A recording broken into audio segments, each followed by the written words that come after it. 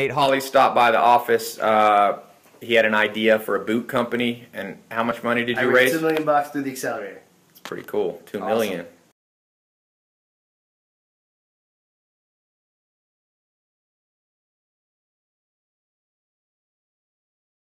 Did you start first in the 67 steps? No, I went to the accelerator. Accelerator first. Yeah, yeah, because How- how'd you hear about it to me to start with? Uh, so uh, at, at work, I work at DC Shoes and I work with all the athletes, and we were doing a post or something, and, and uh, I was going in the morning to do like a Facebook post for, Yeah. for my category.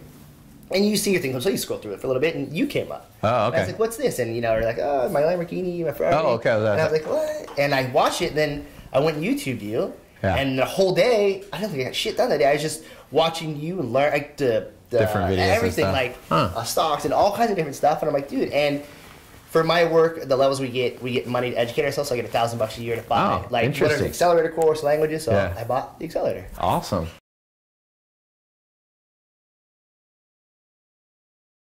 I've had a really good experience with Accelerator. Um, my story is uh, I found Tai one day. I was doing work on Facebook for, for who I work with and posting something, and I was just scrolling through my page doing whatever, and I, I saw I saw this guy and and uh, decided to check it out, see what he had to say, and and I hold, heard the whole Lamborghini Ferrari thing from his garage. And I'm like, wait, what, what what's going on here?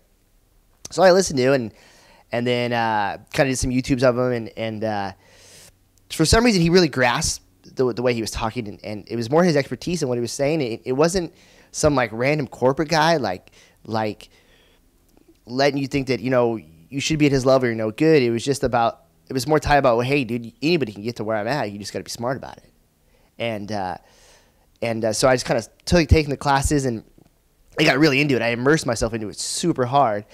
And uh, I've started a couple businesses in the past, and, and it kind of realized when I started, starting like, okay, I, I really did make mistakes, but other people do too. So now every day I read. I can't have a day where I don't read. It's it's trippy now if I don't read that day. Or it used to be like I don't even know what a book was. Anyway, so what happened is I was reading and reading, and then with this idea I had, I, I decided like, well, I've started some other businesses, and all these books, and a lot of it's saying if the teamwork makes the dream work. So I got to find a new team if I want to do this this product or this idea that I have, and that's what I did. I, I lessons I've, I learned through the books like compelling people, never eat alone, um, think like act like a leader, uh, relentless. It, it just it all kind of started connecting, and so I made some phone calls and I took action. Raised two million dollars to start a boot company, and uh, now uh, within a year we'll have our first our first sample, our first beta sample.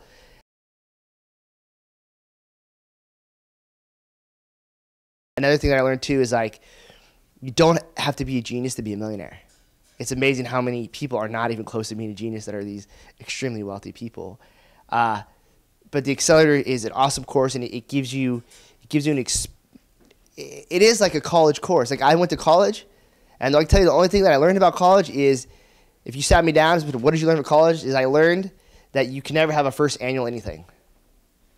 I know that sounds weird, but it's like the only thing that really stood out to me in college. Besides like learning how to roll joints and taking beer bottles and all that kind of shit, doing acid and and and now it's like the accelerator has it's better because it accelerated my mind to to believe in myself and, and to read and, and these books are so much education it's crazy.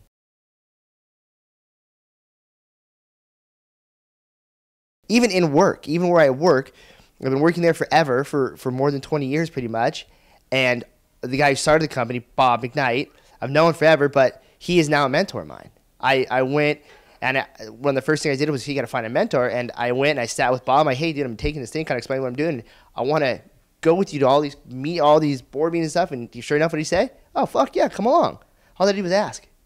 It's crazy how how it, it helps to to realize just spark things in your head to like just open up and and just to go after it, but not be scared because if you would have said no, oh well, I didn't have them anyways. I already didn't have it, so it's it's uh, it's super enlightening.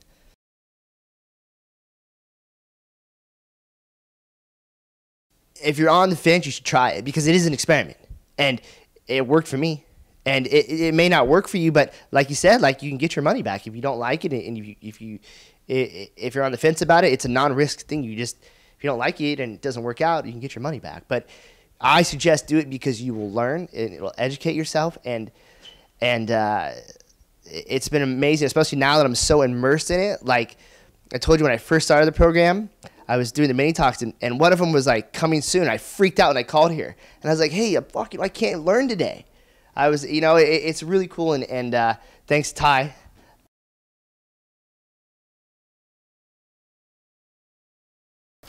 So you've raised, you said two million. I raised two million dollars for the project. Right now we're uh, Where'd you raise it from? Uh, from okay, so what I Okay. did is my first business I ever started. I started a franchise of Wahoo's Fish Taco. Oh, really? Yeah. Okay, I've heard of those. Uh, yeah. Never worked in the restaurant business. Uh, Dude, it takes a wholly different person. Yeah. Because I went from working for Quiksilver in DC forever, traveling the world, traveling, traveling constantly. Like, Yeah. I mean, I've come into work that day and I had to leave to Tahiti. Like, I've done, like, Yeah. being stuck, I wasn't good at it. Like, being stuck in the same place every day at the Wahoo's, Yeah. I didn't like it. Yeah. So after two years of having no days off, I was like, dude, I can't roll like this. Just because I, I like being out and about and, and meeting with people, and you are meeting with people, but it's the same thing every day. Right. And I was stuck in a routine. Joel But- Salatin says there's no change without a change of routine. Yeah, so I remember you reading this. You said it was consequence to success, and I looked it up, and it was just like, if you change the way you think, you can help to change what you do. Right. Yeah. Yes. Yeah, yeah. So another good things, you know, you learn about that. But um, uh, so anyways, with the boot, I and then my second business was a soft goods company called Deft Family, Okay. which is one of the athletes I work with DC. We've started it together, and I went out and got money. We had an outside investor, but.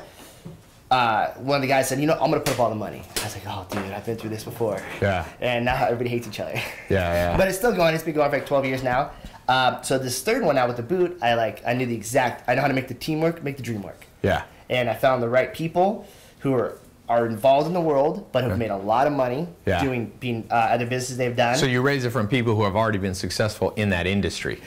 Two of them, yes, and, and one of them is his son who's in the industry, but Yeah. the, the main capital guy is owns, I I think hundreds of Jack in the Boxes. Huh. So Okay. that's how I got the money for that because Yeah. he's involved in.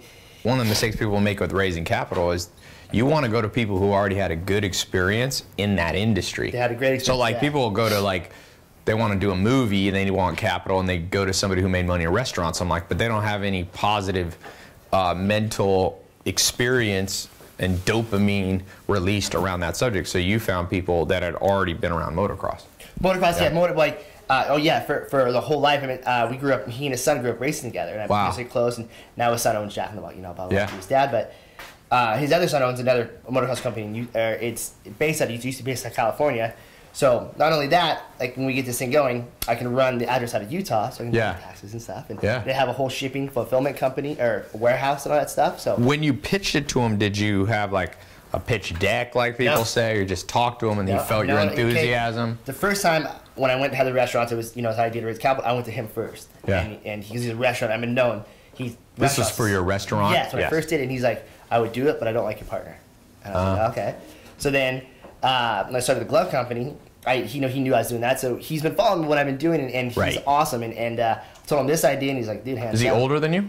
Oh, Wayne, Wayne's in the seventies. A lot of people who have capital are older generations, so you got to learn how to speak to them too, which you're good at because Naples people. Yeah. Naples. Oh, yeah, yeah. Uh, yeah, it's great, and like I saw the accelerator. It's funny that like, I went to college and all this stuff, but I tell you, I tell you, the only thing I ever learned in college, Yeah. the only thing that I can tell you I remember is you can never have a first annual anything.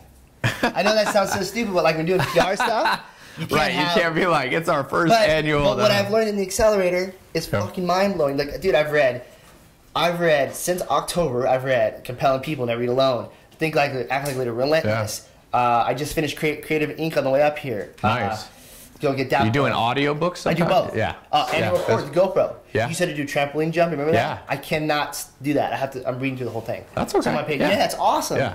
Uh, but There's a lot of cool stuff in those, right? Dude, yeah. it's crazy. There's a whole section on how if Mr. Woodman leaves the company, it'll just fucking tank. Yeah. And it does that to protect himself. Yeah. I didn't know. You Yeah, he locks himself in. It's epic. It's awesome. Isn't it interesting that like in school you didn't learn any of this No, stuff? I didn't learn shit. yeah. Like, no, I didn't learn anything. And like, I, I, I don't want to say I wish. I mean, I guess it's my parents. Like, I wish I could be like, dude, I'm sorry, I, you paid for me to go to Right. college because it wasn't cheap. And and, uh, and actually, my first year of college, I was a little story, I, uh, I.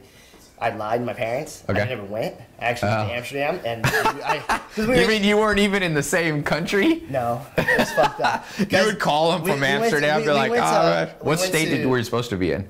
Oh, California. So you'd be like, ah, Yeah. yeah. I'm here in California, but can't visit you. When we went to orientation, you had to like, you know, that back then there was no. I, when I started college, there was no cell phones. right. So the guy sitting next to me, you had to meet people, whatever, and he just didn't get all his uh, scholarship money, so he had no Oh. place to live. Okay. But he got a tuition paid for it. I was like, wait a second, what if we switch? Yeah. What if you pay me, but then I go live at your buddy's house? Right. All right, let's do it.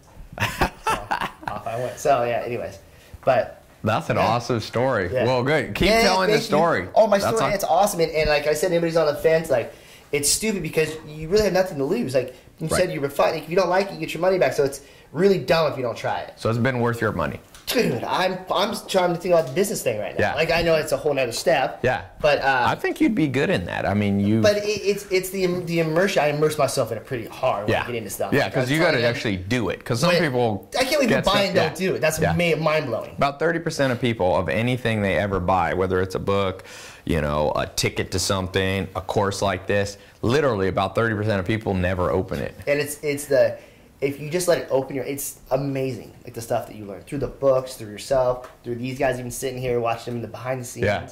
like uh the other day i couldn't get on the vault and i freaked out Yeah. because i i'm so i can't go a day now without reading Oh, wow. That's It- awesome. it's yeah. because i've done it for more than 67 days